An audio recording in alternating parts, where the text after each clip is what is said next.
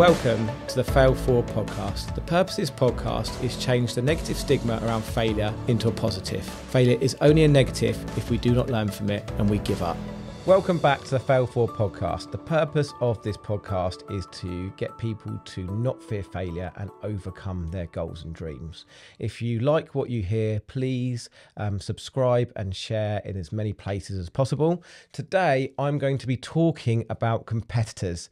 And now, this is a subject I love because it's so subjective with various different people. We to the point we actually had a uh, member of our mastermind leave last year because somebody that was local to him came on the mastermind, and in his words, he didn't want anything to do with him, and he'd prefer to see that company go under than to having a mastermind, which I thought was a massive statement.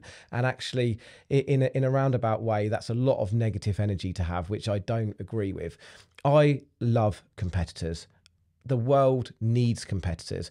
If you had the monopoly on a market, what do you think is going to happen to your business? You're going to get lazy, you're going to overprice, you might not give value, you might not want to push on, you know, you might not want to be, you know, innovate and change and adapt and improve.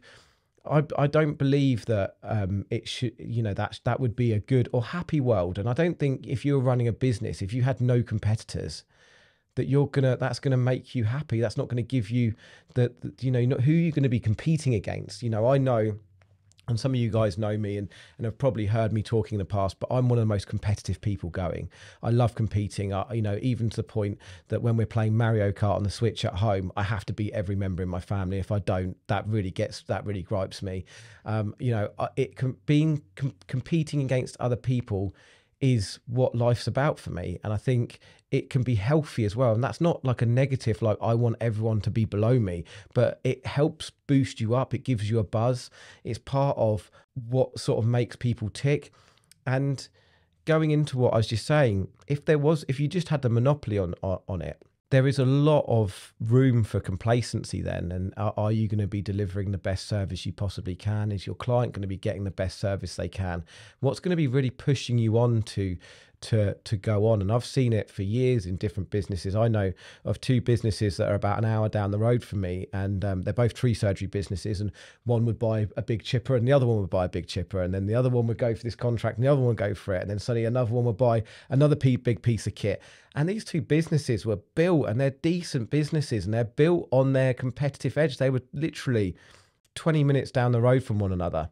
And they were constantly competing and i think they did really well out of that. I think if there was i don't know because but if they were just one of them and they weren't competing they might not have evolved as quickly as they thought they would have been able to evolve.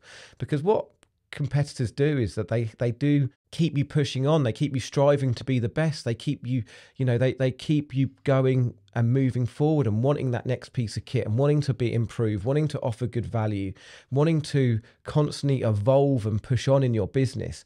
I certainly know having collaboration with my competitors in a roundabout way and i never expect really realized this would happen but for me when the business went under 3 years ago we were at a point where we'd lost everything and we'd restarted the business. And actually, one of my main competitors, who I'd actually done some work for in the past, and a couple of my other competitors really helped out and really surrounded me and helped out. And actually, we'd always competed against each other, but we'd always talked. We sort of we're competi mates, I like to call it, where we're kind of competing against each other, but we're friends. And you know, this is all about going back to networks and networking. And what I'd actually done over the ten years of running the business is I built up quite a few contacts within the tree surgery industry, and I'd built up different businesses that I know. And yes, we would compete against each other in in, in certain jobs. With competing, we'd also got to know each other. We'd we'd got to know each other really well. And there was one competitor that um, we'd got to know. He's I call him like my father figure in the industry, and he'd been a real um, sort of he'd been trading at least 10, 15 years longer than me, and we'd always we'd always talk once a month or, or so often. And actually, when the business went under, and especially uh, you know you guys have talked about my recovery and how I sort of for a few months really couldn't pull my head out my ass for for quite a while and I was just fighting it fighting with you know um, addiction and overeating and and you know trying to build you know get my family back and rebuild my relationship with my wife and all those things that what he did is he actually said, "Look, Henri, I've got a load of work. Do you want to um, do you want to sub to us?" And I was like, "Yeah." And we subbed two teams for him for three months, um, which meant we only had we had three teams on. It meant, only meant we had to find work for one team over that, probably from September to Christmas period. And it absolutely saved the recovery of our business because what it meant is I had time to recover, I had time to find myself again. Um, it meant my team um, teams had work and we had revenue coming in to be able to start paying the bills, and that all came from having a competitor. So when people say to me they don't want competitors or they want them to go under or they want to, you know, they they, they don't want them around, then I think that's just a, a not the right way to be looking at it because not only does it help you improve as a business, but what it actually does is if thing when there's when the shit hits the fan, you can help each other out. We share another yard with another tree surgery business, and a guy I've known for for many many years. He's in a local area to me, and quite often we borrow kit off each other and we help each other out. Yes, we might be competitors and we might do some work for each other, but we certainly help each other out. So I think competitors are great. And I always found it crazy actually because I'm in Southampton. I'm not originally from Southampton, so I don't have the Southampton to Portsmouth rivalry, but I have a lot of Saints fans. And I remember talking to them and going, and around the time, and it hasn't been one for a while, but you'd get the Southampton, the South Coast main derby, Southampton versus Portsmouth. And I remember all my Saints friends that are Saints fans, they'd be absolutely buzzing on game day, buzzing after game day. It would be like the talk of the of the year, and and and everyone would buzz from it. And then I'd talk to people down the pub, and they'd be like, oh, "I can't." I'm, I'm, when especially when Portsmouth were dropping down the leagues. Oh, I can't wait for them to go under. And I'm like, surely you don't want them to go under.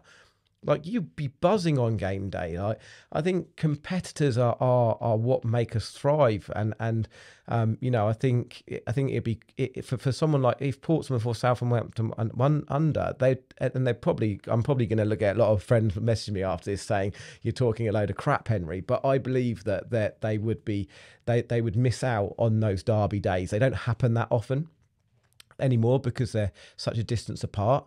Um, so unlucky Portsmouth. Well done Southampton. Hopefully you stay up this year. But anyway, going back to competitors, um, I you know I really think competitors are a good thing. So to recap, you know really embrace your competitors and and let and don't let that become negative energy. Let when you're competing let that be positive energy. Let that help you improve and work out how you can be better and how you can keep trying to get one up but always keep in touch keep friends with your competi mates because it really does help the world go round. So all in all competitors are a really positive thing for business. So keep pushing on and keep failing forward. Thanks all for listening. Take care